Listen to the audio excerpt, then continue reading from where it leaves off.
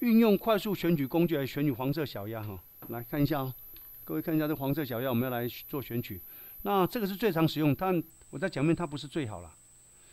你这样拖下去，哦，先做什么？取消，再看一下，从上面选，选起来很快，对不对？那其实很快，并没有很棒哦。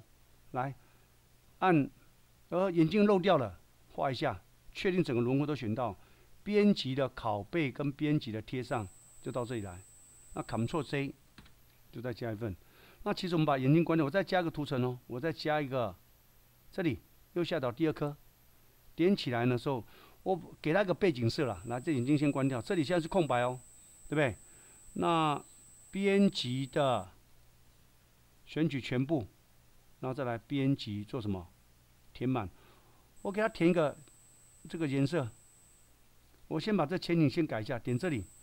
我现在把它改成绿色掉了，什么颜色都可以。我想让它醒目一点就对了。好，绿色哦，绿色。接下来这时候再来编辑的填满。那填满的时候，这边可以指定前景色，这个就叫做前景色，这个叫背景色。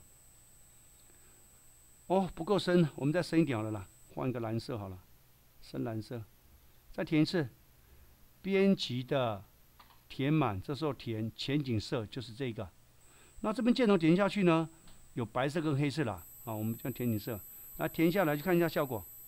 来，先取消一下选取吧。现在是百分之六十六点七哦。哦，我们把它减视切换到百分之，呃，实际像素，Ctrl 键加一就百分之一百。你仔细看旁边，其实很难看呢，没有你想的选的那么漂亮哦。你看见吗？哦，快速选取工具看起来是不错，可是旁边这样选起来，真的有点。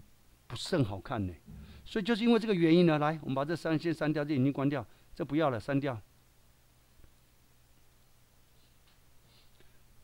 好，再一次哦。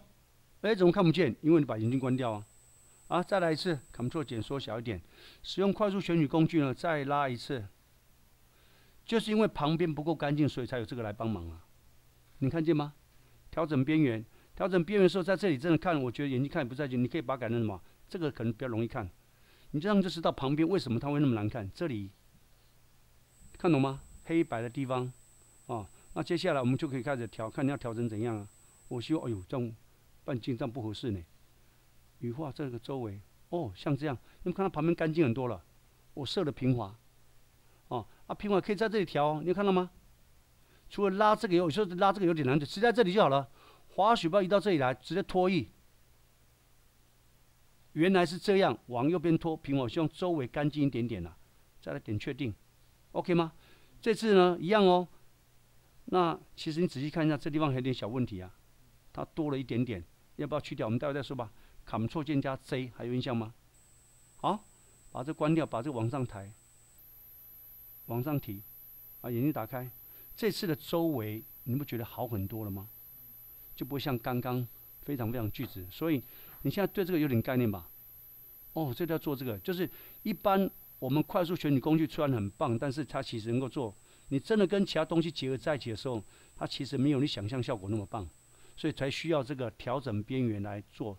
那调整边缘，我想告诉你，最常使用恐怕是这个，因为黑白是最容易去做辨别，听懂吗？当你使用这个时候，其实旁边这个也可以看到一点点呐，但是这个恐怕比较不容易看，我就可以看到周围选取的细致度是怎样。那透过这个来再来做调整，啊啊，这个先试一下哈。